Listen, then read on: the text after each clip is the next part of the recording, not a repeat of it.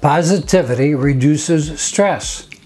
Communicating in positive terms to yourself and to others triggers enthusiasm, capability, and self-confidence. Allow me to share some additional advantages when your self-talk and communications to others are in positive rather than in negative terms. I also want to emphasize that positivity applies especially to teachers who are engaged in classroom management and classroom discipline.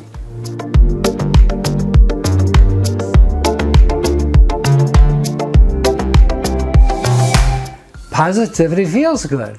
It brings joy, gratitude, and energy. It negates despair, but instead prompts hope, pride, and inspiration. Positive emotions engages people's attention. It changes one's outlook on life because it expands one's worldview. It prompts people to look around more. Positivity changes how your mind works. It builds psychological strength and mental habits, such as looking for humor, that promotes good health. Thinking in positive terms promotes gratitude, which is the key characteristic leading to happiness. Positivity can transform your future. It brings out the best in you and it can help you sleep better, become more optimistic, and improve connections to friends and families. Positivity reduces negativity. Negativity often increases your blood pressure. In contrast, thinking positively calms it. Being positive is also the key to resiliency and perseverance.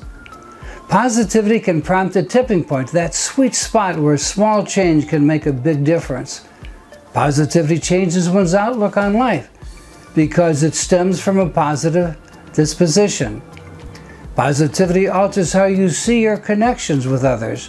You start thinking we instead of me. You look past things that separate you from others, like racial differences, to appreciate the uniqueness of other people. Positivity promotes wellness and good health. Many studies have shown that a positive attitude promotes a longer lifespan. So here's a tip.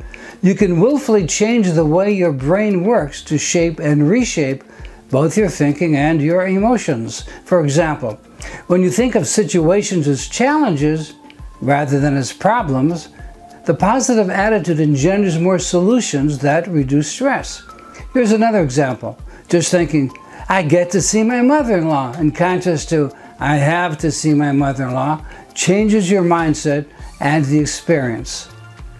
More insightful tips on how to manage your stress are in my third book of showing how to always be in control without coercion. Live Without Stress, How to Enjoy the Journey is available at piperpress.com. You will find the book so resourceful that you will not want to depart with your own copy. When you get the book from this website, you will also receive a second copy free, one to give to a friend or family member. Thanks for watching and sharing this video.